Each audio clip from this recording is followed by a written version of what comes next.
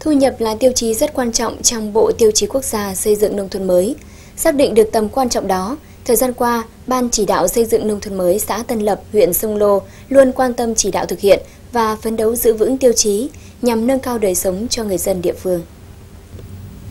Xác định sản xuất nông nghiệp luôn đóng vai trò quan trọng để nâng cao thu nhập cho người dân.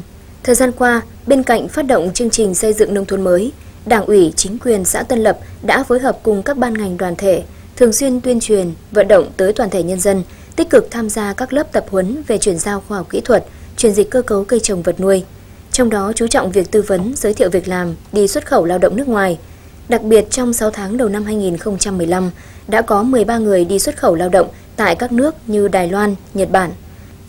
Đồng thời, xã còn đẩy mạnh một số ngành nghề khác như làm nghề ván gỗ ép, hiện đang phát triển mạnh và tạo công an việc làm thường xuyên cho nhiều lao động tại địa phương. Với những nỗ lực nêu trên, sau hơn 4 năm thực hiện chương trình nông thôn mới, từ năm 2011 với mức thu nhập 11,5 triệu đồng một người một năm, đến nay đã lên 23 triệu đồng một người một năm. Đời sống nhân dân ngày càng được nâng lên rõ rệt. Về tỷ lệ hộ nghèo đã giảm xuống còn 6,7%. Xã đang tích cực phấn đấu sau mỗi năm giảm khoảng 2% về tỷ lệ hộ nghèo.